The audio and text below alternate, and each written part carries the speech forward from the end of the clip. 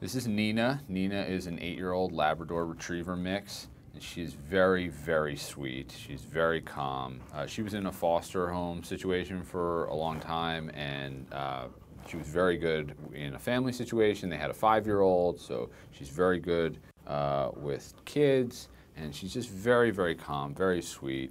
She was good on her walk. No pulling at all. Very, very easy.